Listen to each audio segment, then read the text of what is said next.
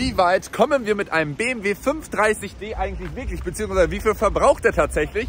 Wir sind hier gerade beim Mai Festival in München und äh, das letzte Mal haben wir das Video ja hier mit dem Audi RS e-tron GT gedreht und ähm, es steht jetzt ein äh, Agenturdrehtag in Berlin an und äh, da wir den Audi jetzt gleich wieder äh, wegbringen, brauchen wir einen Ersatzwagen und äh, dieses schöne Gefährt, ein BMW 530D, bringt uns jetzt nach Berlin und äh, ich würde sagen, mit dem probieren wir es genauso aus.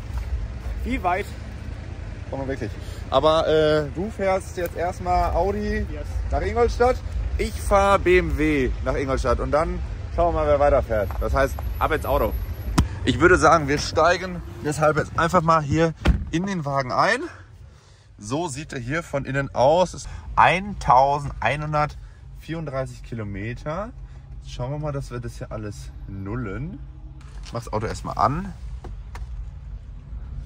So, und dann haben wir jetzt hier Fahrinfo, Fahrdaten. Und dann machen wir jetzt hier mal Werte individual zurücksetzen. Und jetzt haben wir alles genullt. Und dann wollen wir mal schauen, wie weit wir kommen. Wir legen den Gang ein und dann let's go. Wir sitzen im Auto und inzwischen gab es tatsächlich sogar einen Fahrerwechsel. Servus. Ähm, wir haben den RS e-tron GT in Ingolstadt abgegeben und äh, befinden uns gerade auf der Fahrt nach Berlin. Insgesamt sind es noch äh, 450 Kilometer, die vor uns liegen. Und äh, wir gehen jetzt mal in äh, Individual und sehen unseren Verbrauch. Durchschnittlich 8,1 Liter und äh, sind bislang gefahren knapp 2 Stunden 153 Kilometer, haben noch 776 Kilometer Restreichweite. Wie sind Sie gefahren? Geschmeidig. Ja, BMW-like würde ich mal sagen. ähm, ja, so auf jeden Fall der Zwischenstand gerade. Also durchschnittlich 8,1 Liter. Es geht aber auch unter 5 ganz entspannt, wenn man entspannt fährt. Und entspannt tatsächlich äh, ist jetzt unabhängig von der Geschwindigkeit. Wir fahren jetzt hier 160, 170 mal mit Tempomat rein. Ja. Dann nimmt er sich so, würde man sagen, 6 Liter. Weil es ist jetzt berghoch, das ist jetzt gerade Und hier blöd. ist bergauf. Aber ich glaube so 6 Liter easy going. Wir haben halt 8 Gänge und dadurch sehr entspannt. Okay, das heißt München, Berlin sollte auf jeden Fall theoretisch ohne Zwischenstopp gemacht werden. Aber ich kann ja jetzt schon sagen, aus anderen Gründen werden wir machen müssen. Ja. Wir melden uns wieder inzwischen kurz vor Berlin und äh, wir gehen hier mal direkt rein in die Statistik. 536,7 Kilometer sind wir gefahren mit einem durchschnittlichen Verbrauch von 7,3 Liter. Der Junge weiß, wie man äh, sparsam und spaßig fährt. Ja, das war schon wieder total schlecht, aber der bleibt so drin. Äh, restliche Reichweite haben wir noch von 330 Kilometern. Wenn mich nicht alles täuscht, sind wir angefangen mit 1136. Heißt, äh, 800 Kilometer haben wir verfahren bei 537 Kilometer, die wir tatsächlich gefahren sind. Das heißt, von sparsam und spaßig war spaßig der größere Faktor. so, ähm, ein bisschen haben wir aber noch und äh, 7,3 Liter ist der aktuelle Verbrauch. Wir sind angekommen in Berlin. Zumindest ist das jetzt hier Zwischenstopp Nummer 1. Hier wird nämlich morgen gedreht.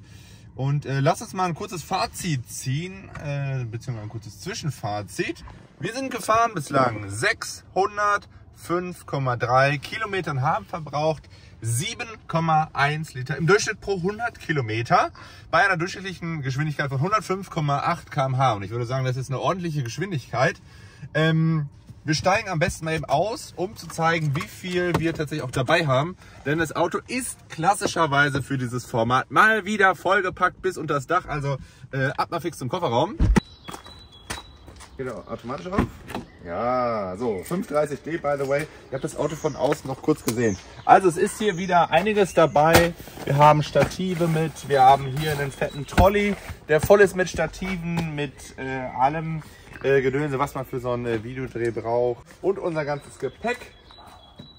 Also äh, das Auto ist gut gefüllt und äh, jetzt gucken wir mal eben hier den Schlüssel für die Drehlocation. Und äh, wir setzen dieses Video morgen fort, wenn wir das Auto wieder vollparken. Beziehungsweise für uns ist es tatsächlich übermorgen. Macht's gut. Dann morgen. Zwei intensive Produktionstage mit meiner Agentur Social Attention liegen hinter uns. Die Sonne scheint. Gio sitzt schon im Auto, denn es geht jetzt weiter. Der BMW ist schon bereit, um die Fahrt nach Hause vorzubereiten. Du hattest es eben so gut parat. Wie viele Kilometer haben wir zu fahren? 465. 465 Kilometer äh, müssen wir fahren. Wir haben aber nur noch eine Restreichweite von 245 Kilometern. Äh, wir, okay, wir parken tatsächlich mal eben kurz aus. Dann schauen wir, wie viel wir aktuell im Durchschnitt verbraucht haben. Wir sind nämlich heute Morgen und gestern schön hier so ein bisschen auch Innenstadtverkehr durch Berlin gefahren. Also nach 637,3 Kilometern haben wir einen durchschnittlichen Verbrauch von 7,2 Liter pro 100 Kilometer. Was jetzt aber für uns ansteht, ist tanken und dann ab auf die Autobahn nach Hause.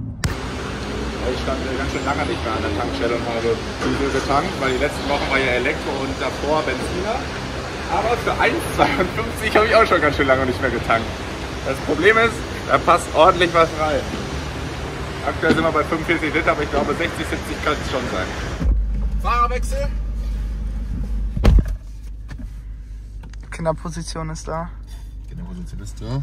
Nimm mir Platz genug. So, jetzt wird mir entspannt weiter gecruised. Zeig mal, dass du hier GTIs platt machen kannst. Äh, Was ist GTI? Ja, okay, wird aber Was hat der denn für was der Felgen? Felgen dran. Hä? Hallo. Ja, und damit ähm, stehen jetzt die letzten. Mal, wie viele Kilometer haben wir denn noch?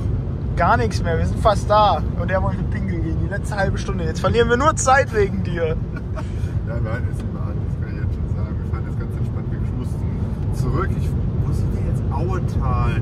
Ich habe gerade überhaupt gar keine Orientierung. Also, wir machen mal einen kurzen ähm, Zwischenstand, wo wir stehen. Menü. Unser italienischer Formel 1 Rennfahrer Jano Trulli. Oder wer, ist der letzte Formel 1 Weltmeister aus Italien gewesen? Keine Ahnung. Ascari. Kann ich, kann ich nicht. Ja, äh, Ist schon lang her anscheinend. sehr, sehr lange her. Das ist wirklich richtig lange her. Ich habe es auch einfach gerade zwischendurch gegoogelt. Ich kenne es auch nicht. Ein italienisches Team, das ist öfter Weltmeister geworden, aber auch das letzte Mal 2007. Ja. Und dann kam Vettel, ne? Nein, dann kam 2008 kam erstmal Hamilton. Ach so. Hä? 2009 kam Jensen Button, 2010 Vettel, 2011 Vettel, 2012 Vettel, 2013 Vettel. So spät? 2014 Hamilton, 2015 Hamilton, 2016 Rosberg, 17 Hamilton, 18 Hamilton, 19 Hamilton, 20 Hamilton. Da müssen wir jetzt bei seinen 7 sein. 21 Verstappen, 22 Verstappen. Nerdy, was das angeht. Also, wir sind gefahren 960 Kilometer und haben einen durchschnittlichen Verbrauch von 7,4 Liter pro 100 Kilometer. Aktuell 4,7 und das würde ich mal sagen, ist so für die Langstrecke tatsächlich auch ein realistischer Wert. Mag ich so an dieser Stelle schon mal vorwegnehmen. Ich fahre gerade einfach blind, ohne Navigation irgendwo in der Weltgeschichte rum. Ähm, aber wie gesagt, wir hatten halt unseren Jano Trulli, unseren Manuel Fangio aus Italien, das ist by the way in Argentinien, unseren Giancarlo Fisichella, unseren Antonio Giovinazzi. Ja, Das, das stimmt andere, gar nicht. äh, Also kurz muss ich mich verteidigen. Ich muss mich kurz verzeigen an dieser Stelle. Es war durchgehend 100, da bin ich auch 100 gefahren, wo mal frei war, so für 100 Meter. Bin ich dann halt mal kurz 100 Meter, 200 gefahren und das war's. Wir fahren jetzt mal die letzten, ich glaube, 230, 40 Kilometer. Das sind die letzten 100 Kilometer. 150, bis gleich. Noch nicht ganz am Ende, aber wir müssen uns jetzt von einer Person verabschieden. In dem Sinne. Ja. Ja. Wir sehen uns äh, nächste Vorbei. Woche.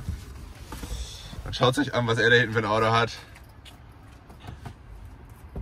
So, jetzt bin ich aber wirklich zu Hause angekommen. Es äh, waren ja insgesamt äh, jetzt auch mit dem Trip mit dem RS e-tron GT war Köln, München, München, Berlin und dann in die Heimat.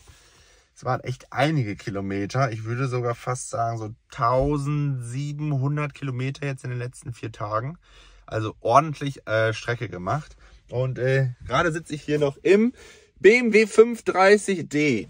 Und ähm, ja, wir wollen mal schauen, was der Wagen jetzt so verbraucht hat. Nach 1139,8 Kilometern, die wir gefahren sind seit dem Mai-Festival in München. Und ich drehe jetzt mal die Kamera. Ich hoffe, ihr könnt das sehen. Ich habe das Licht hier angemacht. Werte ab individuell. Wir sind, wie gesagt, 1139,8 Kilometer gefahren. Ich gehe mal hier ein bisschen näher dran. Und haben dafür gebraucht 12 Stunden, 3 Minuten und 55 Sekunden. Sehr äh, lange, die wir hier im Auto gesessen haben. Im Durchschnitt 97,8 km/h gefahren. Das ist verdammt schnell. Gio hat alles gegeben. äh, ich bin äh, den, den entspannteren Part gefahren und haben jetzt einen durchschnittlichen Verbrauch von 7,3 Liter Diesel pro 100 Kilometer. In Anbetracht der Fahrweise, äh, die teilweise wirklich einfach fix war, finde ich das einen akzeptablen Wert. Ich hätte gerne eine 6 vorne gehabt. Ich kann euch aber sagen, dass wenn wir normal gefahren werden, und mit normal meine ich beispielsweise jetzt auch so Tempomat 150, 155, dann wäre auf jeden Fall auch eine 6 vorne gewesen. 6,9, 6,8 ist, glaube ich, realistisch. Und damit kommt man ordentlich weit. Ich steige jetzt mal aus, dass wir uns das Auto nochmal ganz kurz einmal von außen anschauen, dass ihr auch nochmal seht, äh, wie voll der eigentlich gepackt war. Äh, so sieht er aus. Ne, sehr cool hier mit dem Laserlicht. Ich äh, mache hier mal so ein bisschen dunkler, dass ihr das ein bisschen besser sehen könnt. Schön hier mit diesem Blau. Oh, jetzt geht das Licht aus. Sehr cool. Ähm, genau, so sieht das Auto aus. Ich mache mal wieder ein bisschen heller. So, jetzt seht ihr das Auto. Ja, also in Grau hier mit den schwarzen Felgen. Und äh, ich zeige euch nochmal, wie voll das Auto wirklich gepackt war. Also Rückbank gut voll. Und natürlich auch hier, hier sehen wir nochmal 530D X-Drive, also Allrad. Und ich glaube, wir sind sogar auf Winterreifen gefahren. Nee, sind Sommerreifen. Ja, sind tatsächlich Sommerreifen, die drauf waren. Jetzt schauen wir nochmal schnell in den Kofferraum rein. Dass ihr auch da seht, auch der gut gefüllt mit dem ganzen Kameraequipment, was wir eben für die Drehtage brauchen. Also, das kommt natürlich jetzt alles raus. Der Wagen äh, geht jetzt wieder zurück. Das war tatsächlich mal einfach ein Mietwagen, den wir brauchten, um jetzt zu überbrücken. Im Sinne, macht's gut, bis zum nächsten Video. Ciao.